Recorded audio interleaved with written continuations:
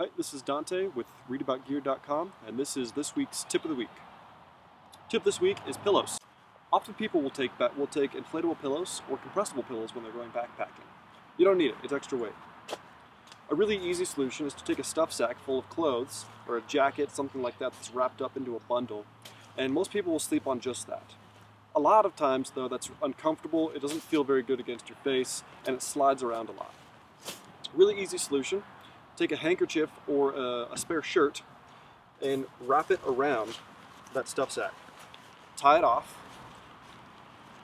and then the extra texture that the cloth has compared to the nylon will keep it in place on the sleeping bag, on your face, and you'll sleep better.